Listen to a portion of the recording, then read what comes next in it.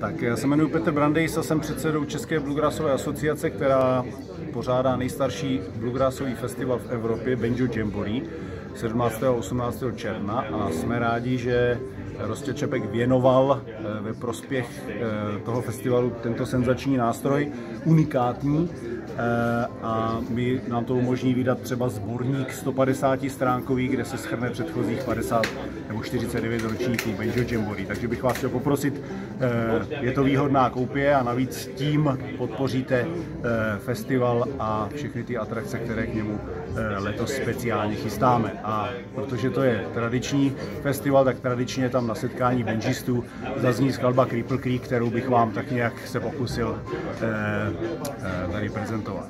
Tak.